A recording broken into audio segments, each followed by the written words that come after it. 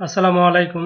আজ আপনাদের শেয়ার করব twenty five OH vitamin D total এখন এলাইজা মেথডে ভিটামিন ডি টোটাল করা না বললেই চলে। সবাই এখন অটোমেশনেই ভিটামিন ডি করে। বেশ কয়েকজন আমাকে রিকোয়েস্ট করেছে যে একটা ভিটামিন ডির প্রসিডিউর দেওয়ার জন্য। এটা এলাইজা মেথডের ভিটামিন ডির প্রসিডিউর এটা human রিয়েজেন্টের literature the 25 OH vitamin D OH hydroxy vitamin D two and vitamin D three এই দুটা মিলেই ভিটামিন ডি টোটাল প্রতিটি অ্যালাইজা কিট ওপেন করার পরে বা হিউম্যান রিয়েজেন্টের ক্ষেত্রে কিটটি ওপেন করার পরে reagent and contents microtiter strip তারপর calibrator two M L vitamin D calibrator concentration 0 nanogram per ml white cap grey level lyophilise powder ফর্মে থাকে। ক্যালিব্রেটর এক থেকে পাঁচ পর্যন্ত one M L calibrator vitamin D calibrator white cap yellow level এটাও লাইপোলাইজ ফর্মে থাকে। For calibrator level please refer to the বোতল লেভেল মানে ক্যালিব্রেটরের গায়ে বোতলের মানে প্রত্যেকটি কনসেন্ট্রেশন দেওয়া থাকে। মানে প্রত্যেকটি বোতলের গায়ে কনসেন্ট্রেশন দেওয়া থাকে। লিটারেচারে কোনোটারই কনসেন্ট্রেশন লেখা নেই। দুটি কন্ট্রোল থাকে control one control two one M L করে vitamin D control one white cap red level lyophilised human plasma মানে লাইফোলাইজ পাউডার ফর্মে থাকে কন্ট্রোল ওয়ান কন্ট্রোল টুও পাউডার ফর্মে থাকে।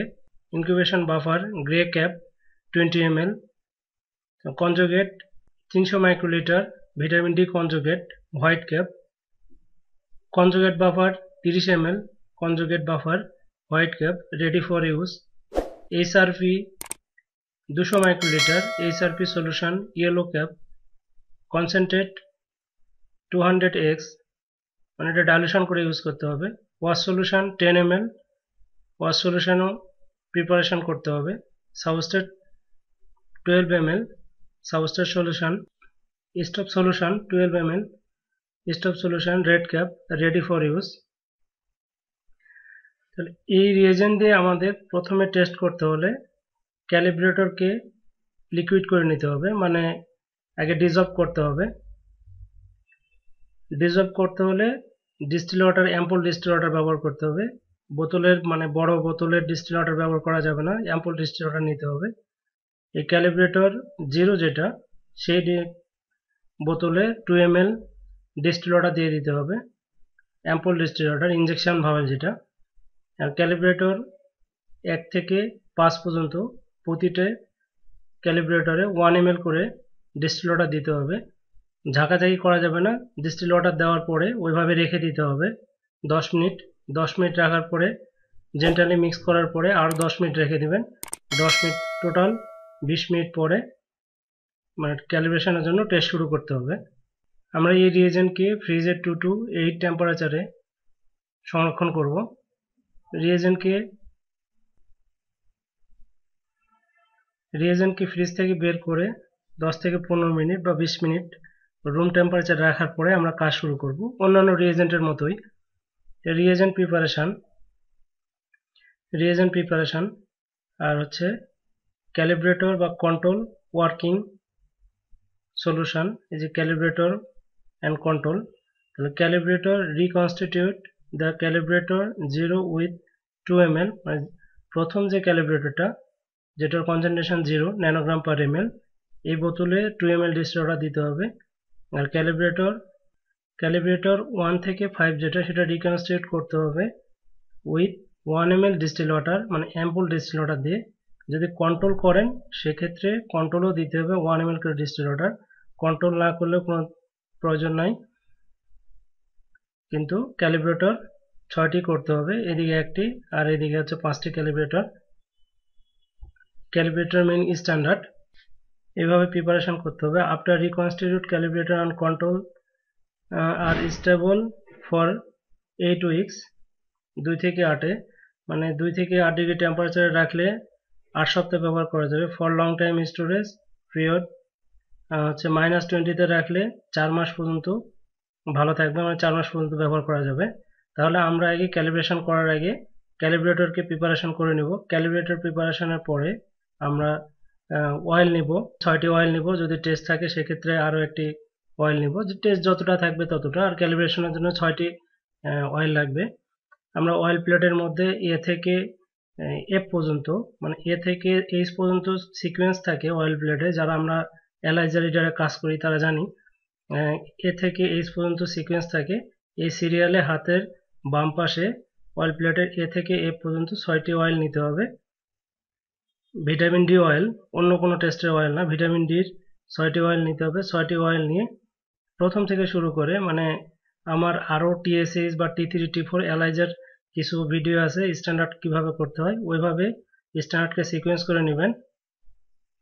মানে হাতের বাম সাইড থেকে জিরো তারপরে একটু যেটা বেশি কনসেন্ট্রেশন তারপরে বেশি এ বি সি এভাবে সাজায় নেবেন। A B C D E F এভাবে ছয়টা বাম দিক থেকে ডান দিক পর্যন্ত এ থেকে এফ পর্যন্ত স্ট্যান্ডার্ড সাজায় নেবেন। প্রথম অয়েলে স্ট্যান্ডার্ড এ দিবেন, দ্বিতীয় অয়েলে স্ট্যান্ডার্ড বি, তৃতীয় অয়েলে স্ট্যান্ডার্ড সি, চতুর্থ অয়েলে স্ট্যান্ডার্ড ডি, পঞ্চম অয়েলে স্ট্যান্ডার্ড ই, আর ষষ্ঠ অয়েলে স্ট্যান্ডার্ড এফ। এবং কতখানি করে দিতে হবে? আমরা এটা পরের স্টেপে যাচ্ছি। এটা হচ্ছে পিপেটিং স্কিম লিটারেচারে সব কিছু এভরিথিং ইনফরমেশন দেওয়া পিপেটিং স্কিম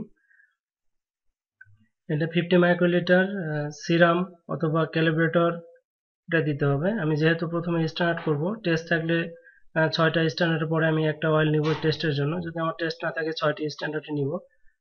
ছয়টি অয়েল নিব। ছয়টি অয়েলে যেভাবে বললাম সিরিয়াল প্রথম অয়েলে A A standard fifty microlitre B standard দ্বিতীয় অয়েলে ফিফটি মাইক্রোলিটার সি স্ট্যান্ডার্ড তৃতীয় অয়েলে ফিফটি মাইক্রোলিটার ডি স্ট্যান্ডার্ড চতুর্থ অয়েলে ফিফটি মাইক্রোলিটার ই স্ট্যান্ডার্ড পঞ্চম অয়েলে ফিফটি মাইক্রোলিটার তারপরে এফ স্ট্যান্ডার্ড ফিফটি মাইক্রো হচ্ছে ষষ্ঠ অয়েলে ফিফটি মাইক্রোলিটার প্রতিটি অয়েলে হচ্ছে পঞ্চাশ মাইক্রোলিটার করে আলাদা আলাদা স্ট্যান্ডার্ড দিব। আলাদা আলাদা স্ট্যান্ডার্ড দেওয়ার পরে ইনকিউবেশন বাফার যেটা আমরা প্রথমেই দেখলাম যে আছে হোয়াইট ক্যাপের ওখান থেকে ইনকিউবেশন বাফার দিব প্রতিটি অয়েলে একশো পঞ্চাশ মাইক্রোলিটার করে। আমরা প্রতিটি অয়েলে দিব মানে এ থেকে এ পর্যন্ত প্রতিটি অয়েলে একশো পঞ্চাশ মাইক্রোলিটার করে ইনকিউবেশন বাফার দিব। আমরা কিন্তু হচ্ছে ক্যালিব্রেটর দিলাম আলাদা আলাদা অয়েলে মানে প্রতিটি ক্যালিব্রেটর প্রতিটি অয়েলে দিয়েছি। এ দিয়েছি আলাদা অয়েলে বি দিয়েছি আলাদা অয়েলে কিন্তু ইনকিউবেশন বাফারটা সব অয়েলেই দিব। যারা আমরা কাজ করি তারা বুঝি, যারা নতুন তাদের জন্য একটু হিজিবিজি লাগতে পারে। এটা বুঝতে হবে যে ইনকিউবেশন বাফারটা যেহেতু এটা প্রতিটি অয়েলেই দিব। প্রতিটি অয়েলে দেওয়ার পরে ভালো করে মিক্স করব। মিক্স করে একশো বিশ মিনিট আর দুই ঘণ্টা অন্ধকারে ইনকিউবেশন করব। আমার আরও ভিডিও আছে, ওখান থেকে আপনারা চাইলে প্র্যাকটিক্যালি দেখে নেবেন। এখন এলাইজা রিডারে ভিটামিন ডি কেউ করে না বললেই চলে। টেকনিকটা সেম একই রকম। শুধু স্যাম্পল দেওয়ার সিস্টেমটা আলাদা, কিন্তু সব এলাইজার টেকনিক একই রকম। এলাইজার টেকনিক কখনো আলাদা হয় না এলাইজার টেকনিক একই রকম। একশো বিশ মিনিট ইনকিউবেশন করব। একশো বিশ মিনিট ইনকিউবেশনে দেওয়ার পরে আরেকটা কাজ করতে হবে। Prepare the H R P during the sample incubation time require minute এক ঘণ্টা পঁয়তাল্লিশ মিনিট। মানে আর একটা এইচ আর পি সলিউশন বানাই নিতে হবে, যেটা ব্যবহারের এক ঘণ্টা পঁয়তাল্লিশ মিনিট আগে কমানো বানাই রাখতে হবে। মানে সঙ্গে সঙ্গে এটা বানাই ব্যবহার করা যাবে না। সেহেতু আমরা হচ্ছে এই ইনকিউবেশনে দেওয়ার পর পরই এটা কীভাবে বানাতে হবে? আমি দেখাচ্ছি, এটা লিটারেচারে আছে লেখা। এই যে working conjugate solution HRP the working HRP conjugate solution is to be prepare during the incubation for minimum মানে এক ঘণ্টা পঁয়তাল্লিশ মিনিট বিফোর ইউজ মানে ইউজের এক ঘণ্টা পঁয়তাল্লিশ মিনিট আগে এই হচ্ছে কনজুগেট এইচআরপিটা বানাতে হবে। এইচআরপিটা কীভাবে বানাতে হবে? Prepare adequate হচ্ছে volume of HRP in mixing conjugate হচ্ছে হান্ড্রেড এক্স আর এইচআইপি কনজুগ এইচআরপি এইচআরপি হচ্ছে two hundred X and conjugate buffer according to the number of use strip and as indicate in the table below for example for six step মানে আটচল্লিশ অয়েলের জন্য, একটা step এক step মানে আটটি oil আটটি অয়েল আটটি অয়েলের মানে ছয়টা আটচল্লিশ আটচল্লিশটা অয়েলের জন্য একশো মাইক্রোলিটার কনজুগেট নিতে হবে আর পঞ্চাশ মাইক্রোলিটার এইচআরপি নিতে হবে আর ten M L conjugate buffer নিতে হবে। দিয়ে ভর্টেক্স মিক্সারে মিক্স করতে হবে। এবং যেহেতু আপনাদের আটচল্লিশটা অয়েল তো একসঙ্গে কাজ করবেন না, আটচল্লিশটা ভিটামিন ডি তো আর একসঙ্গে করবেন না। আমি যেহেতু হচ্ছে ছয়টা ক্যালিব্রেশন করতেছি, আপনারা ছয়টা ক্যালিব্রেশনের পরে আরও হয়তো বা দুইটা টেস্ট করবেন একসঙ্গে বা তিনটা টেস্ট করবেন বা একটা টেস্ট করবেন। সেক্ষেত্রে ভলিউম আরও কম করে নিতে হবে। এখানে দিয়েছে যে হচ্ছে আটচল্লিশটার জন্য এভাবে। যেমন হচ্ছে ওয়ান স্টিক এই যে এখানে এক্সাম্পল দেওয়া আছে ওয়ান স্টিক মানে আটটি অয়েল আটটি অয়েলের ক্ষেত্রে ভলিউম কনজুগেট হচ্ছে তিরিশ মাইক্রোলিটার তারপরে এইচআরপি পনেরো মাইক্রোলিটার আর হচ্ছে কনজুগেট বাফার থ্রি এম এই যে উপরে এম এগুলো হচ্ছে মাইক্রোলিটার এই যে হচ্ছে বারোটার ক্ষেত্রে এভাবে নিতে হবে। আর আমরা যারা কাজ হচ্ছে প্রথম যেহেতু হচ্ছে ছয়টাতে ক্যালিব্রেশন করতেছি মানে ছয়টা আমার হচ্ছে আমি অয়েল নিয়েছি, সেক্ষেত্রে প্রথম অবস্থায় এভাবে বানায় আপনারা এই ক্যালিব্রেশন কমপ্লিট করতে পারেন। একটু যেটা বেঁচে যাবে সেটা ফেলাই দিবেন। আর যখন আপনারা টেস্ট করবেন, যখন আপনারা টেস্ট করবেন মানে প্রতিটি অয়েলের ক্ষেত্রে প্রতিটি অয়েল মানে ধরেন যদি দুইটা টেস্ট করেন বা একটা টেস্ট করেন, আমি একটা টেস্টের জন্য বলতেছি, একটা টেস্টের জন্য কি কি লাগে? হচ্ছে আপনি যখন একটা টেস্ট করবেন, একটা টেস্টের জন্য অ্যাপ অ্যান্ড ড্রপে এই কনজুগেট কনজুগেট নেবেন। এই কনজুগেটটা মানে এই এই কনজুগেটটা যেটা তিরিশ মাইক্রোলিটার থাকে, এই কনজুগেটটা ভিটামিন ডি কনজুগেট সলিউশন এটা নেবেন হচ্ছে three point seven five microlitre মানে এটার জন্য অবশ্যই টু থেকে টোয়েন্টি মাইক্রোলিটারের একটা মাইক্রোপিপেট প্রয়োজন। টু থেকে টোয়েন্টি মাইক্রোলিটার মানে দুই থেকে বিশ পর্যন্ত ওঠে এরকম মাইক্রোপিপেট ল্যাবে থাকতে হবে। তাহলে এটা নেবেন, একটা টেস্টের ক্ষেত্রে একটা অ্যাপেন ড্রপ নেবেন। অ্যাপেন ড্রপের মধ্যে three point seven five microlitre এইটা নেবেন। আর হচ্ছে এটা নেবেন হচ্ছে one point eight seven five microlitre HRP HRP নেবেন solution three one point eight seven five আর হচ্ছে এটা নেবেন পয়েন্ট পয়েন্ট না মানে তিনশো পঁচাত্তর মাইক্রোলিটার আমি আবার বলতেছি, একটি টেস্টের ক্ষেত্রে three point seven five microlitre এটি, আর one point eight seven five microlitre এটি, আর হচ্ছে এটা নেবেন হচ্ছে তিনশো পঁচাত্তর মাইক্রোলিটার একটি টেস্টের জন্য। যখন আপনারা দুইটা টেস্ট করবেন, এগুলোকে সবগুলোকে ডাবল করবেন। মাল্টিপ্লাই করবেন। তাহলে আপনার যতটা টেস্ট করবেন, এইভাবেই নিতে হবে। এই হচ্ছে কনজুগেট বাফার ভলিউম বেশি দেওয়া থাকে অতটা লাগে না। যেটা এক্সট্রা হবে, সেটা ফেলাই দিবেন। আর এইভাবে আচ্ছা এইচ এইচআরপি সলিউশনটা কীভাবে তৈরি করতে হয়, এটা আমরা দেখলাম। এখন দেখব হচ্ছে ওয়াশ সলিউশন তৈরি।